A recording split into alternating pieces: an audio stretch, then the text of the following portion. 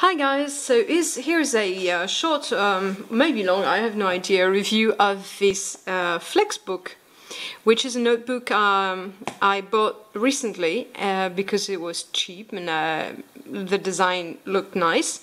And I was very pleasantly surprised when I received it for many, many reasons. So let's have a look at this.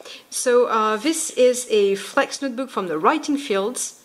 It's made in Greece and it's made of uh, cardboard and 192 pages made from Fabriano ivory paper, 85 gram, gram per meter square, which is ecological in design because it's FSC, elemental chlorine free, acid free, heavy metal absent, it's biodegradable, etc. etc.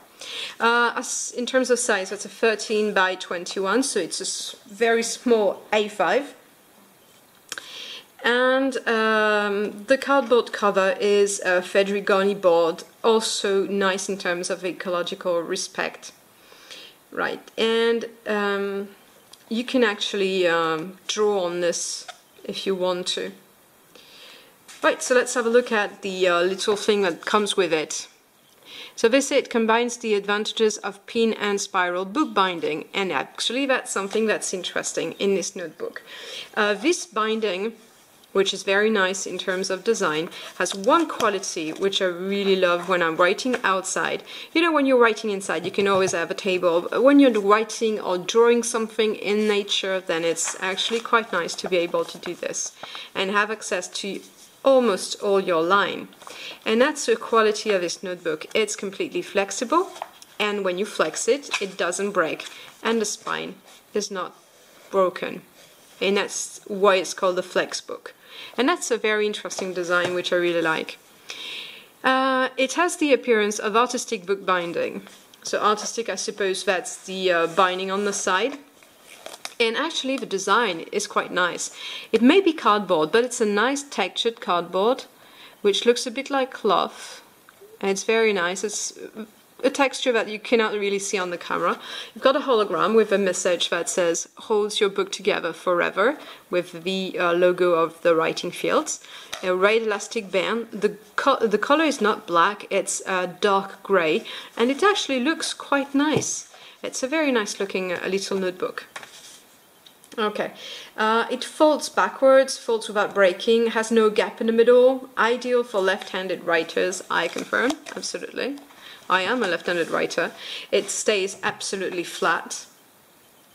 Uh, what do they say? You can write from end to end. Yes, definitely. Uh, light and easy to use, I confirm. It's a light little notebook, very practical, ecological, as I have said before, economic in production, I have no idea, and lasts virtually forever, I have yet to prove that. But anyways, let's go to the uh, rest of the uh, notebook. So there's a black first page, which is cardboard as well, the uh, name of a notebook, Flexbook notebook, and part to write your name. Here, the logo of the company, the writing fields. Okay, and this Fabriano uh, ivory paper. Okay, it seems a bit lighter on my uh, uh, camera, but it's actually a strong ivory paper. It's not cream like it looks on this. It's actually quite uh, dark. Let me show you in contrast with the um, that's uh, light ivory paper, so as you see it's quite strong on the other one. Okay, and as for the lines, they are uh, small dark dots, and you've got the name uh, Flexbook at the bottom. Uh, clearly not my favorite design in terms of lines, but still nice uh, features. At the end, you've got the same cardboard design and no pocket. Okay, uh, let's have a look then at the uh, paper quality. Paper quality is usually something that goes down in cheap, inexpensive notebooks. I recently made a, a video about the difference between cheap and expensive notebooks, and very often um, these notebooks were looking nice, uh, but the, the paper was not that nice in them. This one clearly is an exception. It clearly is, and I'm a test with Cacao de Brazil, Orange Indien, Lierre Sauvage. Uh, these ones are demanding inks, these ones regular inks. And look at the other side. you've got, well, on this side, you have absolutely no feathering. It's pleasant to use the pen on it. And on the other side, you've got no bleed through and very little show through. Very little, in fact. Right.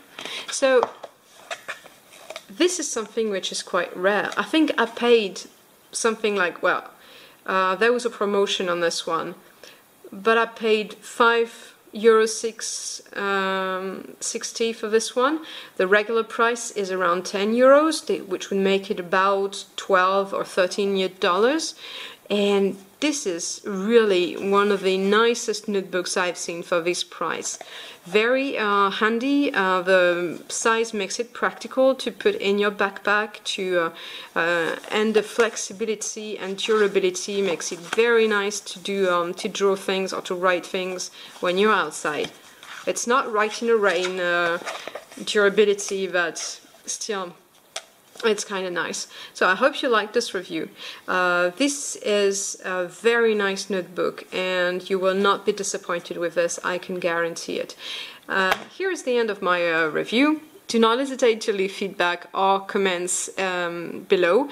I will give you um, the links to the, the Writing Fields website um, uh, in the description box. Hope you liked it. Goodbye.